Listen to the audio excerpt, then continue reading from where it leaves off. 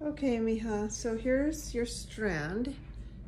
Um, what you're gonna do is you're going to look between the joints and see how there's a leaf here and then there's a leaf here. You're gonna cut it right before that leaf so that it gives you enough of a stem to put in the water. So I'm gonna cut it right here.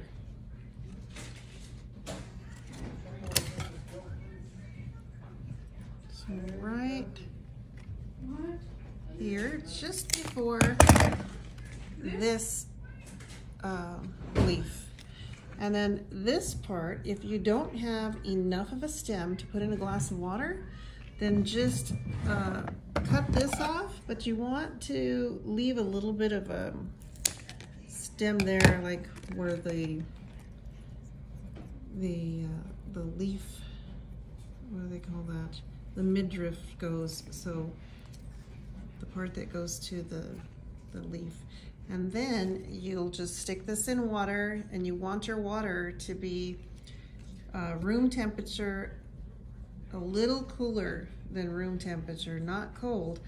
So like maybe about, I would say, um, like 76-ish degrees, 78.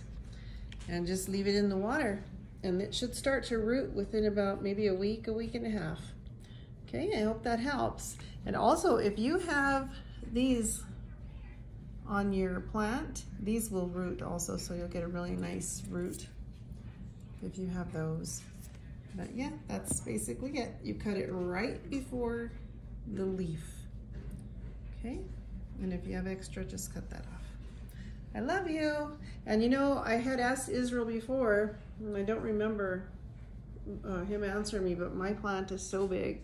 I've already transplanted it so much. And as you can see, it's wrapped around my bowl so much, and I really need to um, cut it and make some more.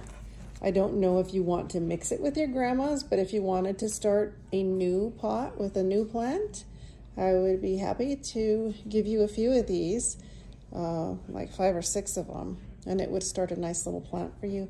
Let me know, okay? Because I'm going to have some rooted ones. I love you. Happy planting. Bye-bye, honey.